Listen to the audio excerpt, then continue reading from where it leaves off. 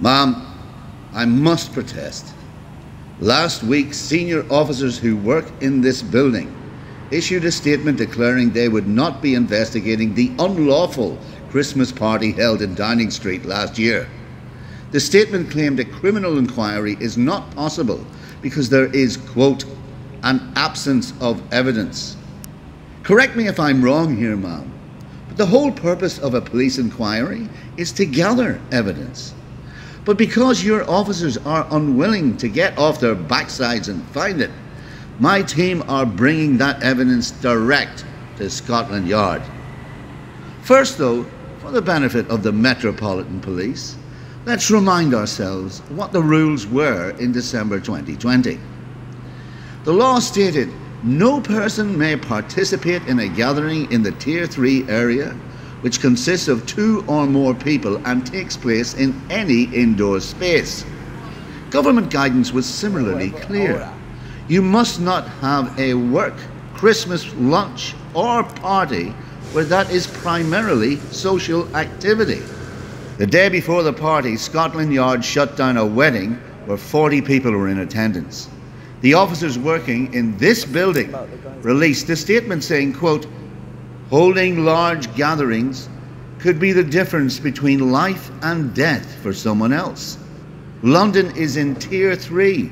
You must not mix inside with anyone who is not in your household or support bubble.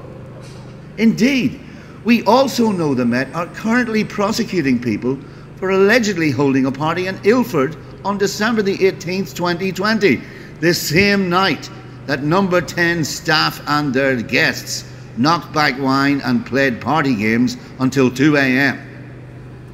Nobody denies an event took place at 10 Downing Street. The issue is a simple one. Was it, as number 10 claims, a work meeting or was it a party? Let's look at the evidence. It's now been established that invitations were sent out by the press team three weeks before the event and that invitees included people who don't work in Downing Street. The invitation said food and wine would be served and there would be an exchange of gifts. Some people wore Christmas jumpers to the event, while others brought secret Santa presents.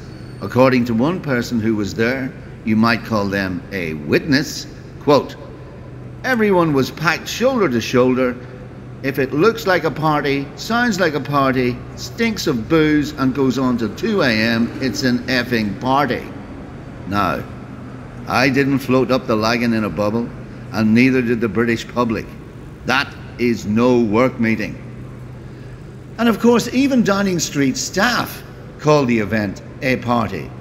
We know this because four days later, they held a mock press conference, footage of which has now been leaked, where they explicitly described it as a party, that it would be controversial because it was held during lockdown and discussed ways to present it to the public as a business meeting. Of course, if Metropolitan Police officers are worried about an absence of evidence that a party took place, they would do well to remember that the numerous people not employed at number 10 who reportedly attended the party could only have gained access to it by coming to the gates of Downing Street and giving their names to a Metropolitan Police officer. But Scotland Yard is refusing to investigate. Why? When did we stop caring about truth and accountability? It's not a rhetorical question, ma'am. The police serve the public. We do so without fear or favour, and we do so to the letter of the law. The letter. Our leaders partied while families were separated, and our citizens died in their thousands. Jesus, Mary, and Joseph, led by the wee donkey.